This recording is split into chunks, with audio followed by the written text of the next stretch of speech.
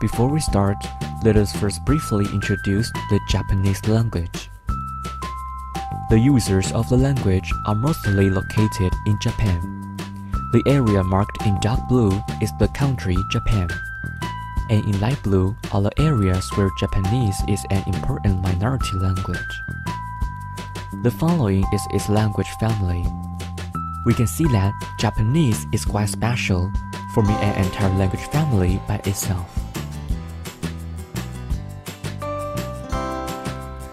The subject we discuss here is the palatalization in the Japanese language.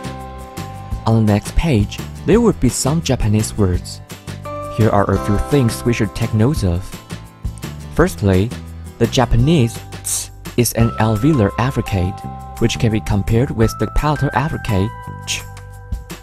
Also, the bracketed ts should be taken as a single symbol. It is pronounced as the initial sound of the word tsunami. Secondly, in native Japanese, the sounds t and tu do not exist. This means the ta line in Japanese is tachitsuteto instead of tatituteto.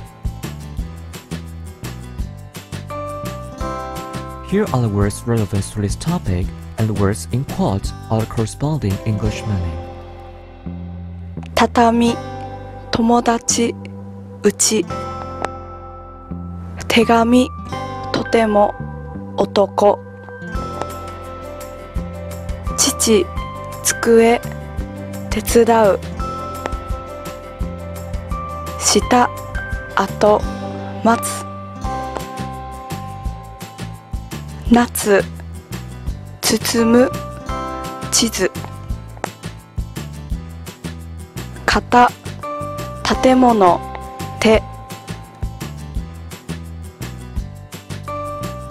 Question A asks you, based on less words are t, ch, and ts in complementary distribution.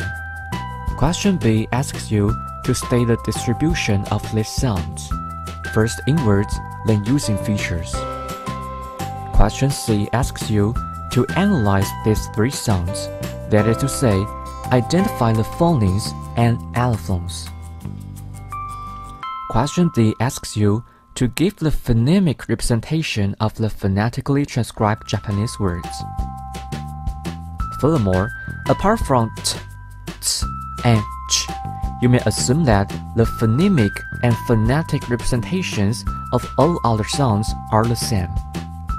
In other words, apart from the sounds t, ts, and you may simply copy the transcription already provided.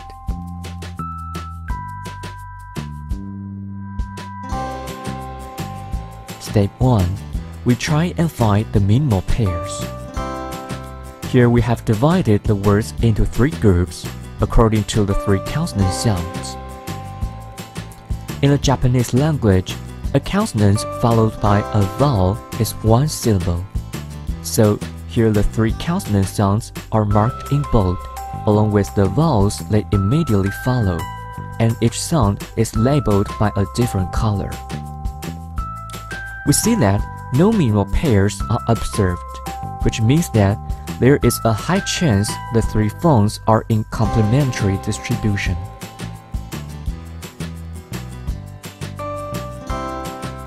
In step 2, we check their sound environments. After checking, we see that the sound t may be followed by the vowels a, a, or o. The sound ch can only be followed by the vowel e, and the sound ts can only be followed by the vowel u. Since these sounds never occurred in the same environment, they are clearly in complementary distribution. In step 3, we further observe the distribution pattern and environments of the three sounds. From the location of the tongue responsible for producing the five vowels, we see that the vowels a, a, o, which follow the consonant t, are mid or low vowels. Meanwhile, e, which follows the consonant ch, is a high front vowel, and u, which follows the consonant t, is a high back vowel. These five vowels are also all non-consonantal. This should be obvious, since they are already vowels, they cannot possibly be consonantal.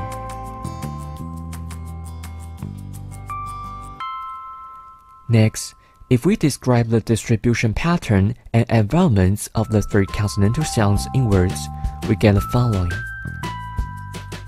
The sound ch occurs before e. The sound ts occurs before u. And the sound t occurs in all other cases, namely before the other three vowels which are non-high. Recall that e and u are both high vowels. If we rewrite this in features, we get the following. The sound occurs before non-consonantal, high, and non-back vowel segments. The sound ts occurs before non-consonantal, high, and back vowel segments.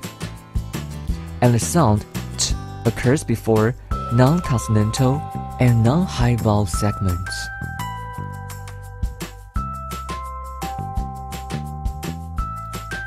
In step 4, we decide which of the three consonantal sounds is the default. As we can see from this table, the three sounds are in complementary distribution. Furthermore, because the sound t has the widest distribution among the three, we treat it as the default.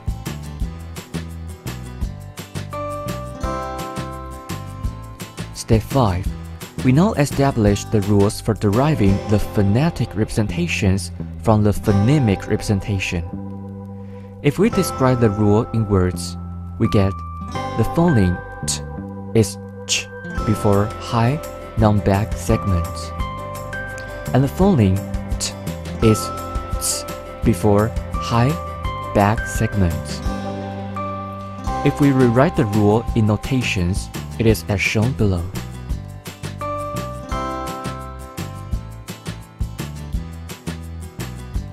Here are the phonetic representations of the Japanese words for the last question, which asks that you write down their phonemic representations. 畳、机、包む友達、手伝う、地図うち、下、肩 手紙あとこと。とても待つ建物。男出口手父夏釣り。So now we put our rules to use and change all t, ts, ch sounds into their phonemic symbol t. We have marked in red the places that were previously ch, which is now replaced by the phoneme t. And marked in blue are the places that were previously ts, which again is now replaced by the phoneme t. For the places where was already there, of course no change is needed, so there's no change in the color either.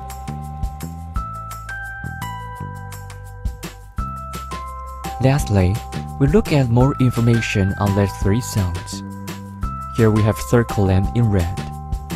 According to our conclusion, the phoneme t becomes the other two forms only under specific sound environments.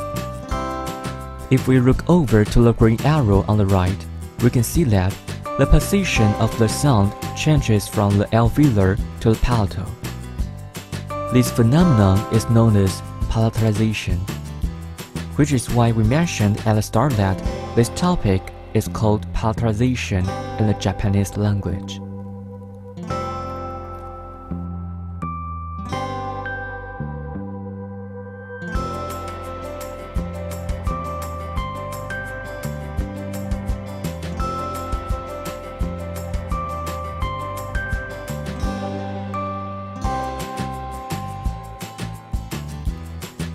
Following are answers from the publisher which can be used as a reference.